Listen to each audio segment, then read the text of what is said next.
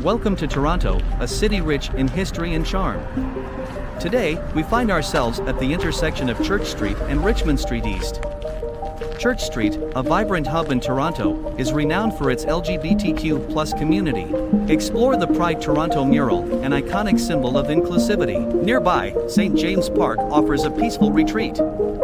Take a stroll, find a cozy spot, and relax in this tranquil oasis.